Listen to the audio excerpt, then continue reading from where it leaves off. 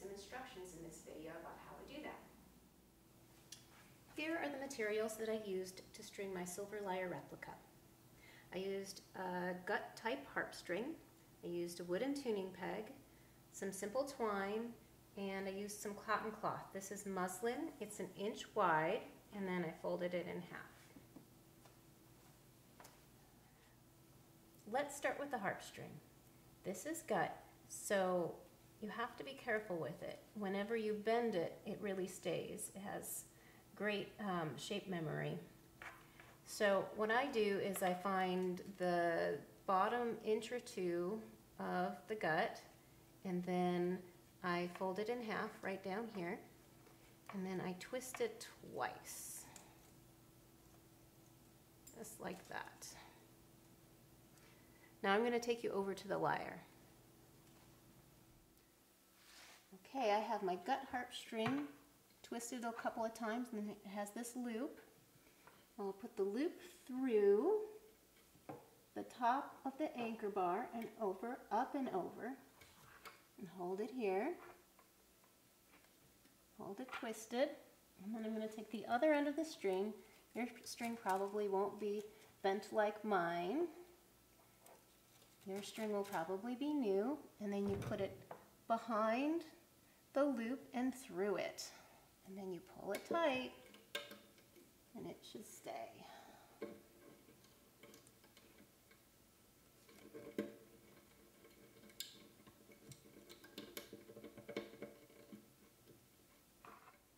The next step is attaching the end of the string to the end of the cloth. What I do is I make a simple knot at the end of the string.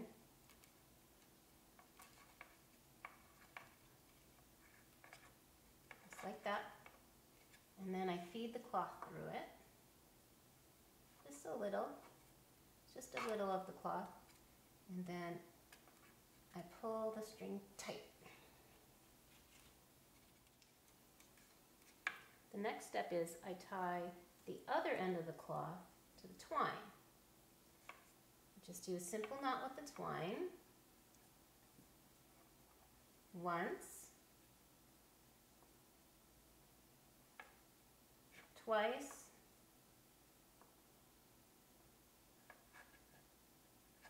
Three times. So to review, we have one end of the harp gut string attached to the anchor bar we have the other end of the gut, harp string attached to one end of the cloth strip. We have the other end of the cloth strip connected to the twine. Now let's attach the whole string to the lyre with the tuning peg. Okay, now comes the tricky part but the most exciting. So I go over, up and over the crossbar. All right. So I tuck the end of the cotton under itself and I wrap it as tightly as I possibly can. Now this cotton will act as a bearing. So you want it to be tight. So it'll stay on really well, but not so tight where you can't turn it. But pretty much as tight as you can get it. It Should work just fine.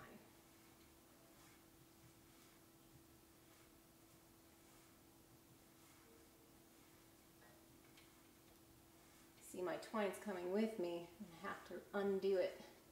Okay, I'm going to hold that there while I undo the twine. I need the twine for something else. Okay. Now's the twine's time to shine. So,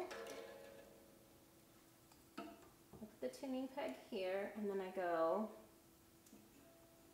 over the bottom, then behind the, the crossbar, and then over the top. We'll do that again over the bottom, over the top, two times. Then I'm going to make an X. So I go diagonal from here to here along the back and I keep this as tight as I can.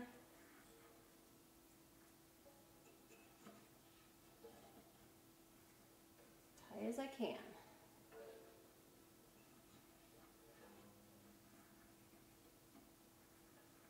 Until I run out of twine.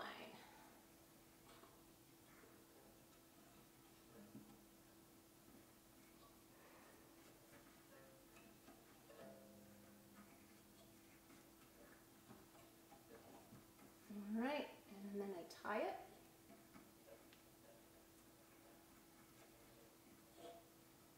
See, I have a little knot here from where I had tied it before. I think I'm gonna have to tie it here.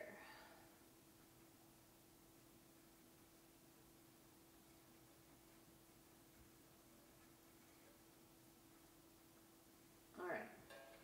Now I have a bearing and a handle. It's really handy. This is how you continue your lyre.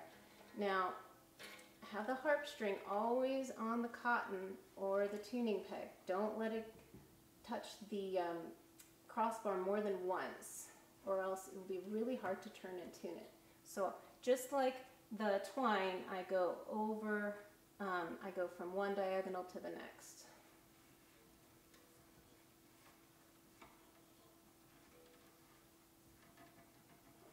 We do this way. This is just using up the extra string that I have. The strings will stretch just the way strings are. And here we go. Tune string.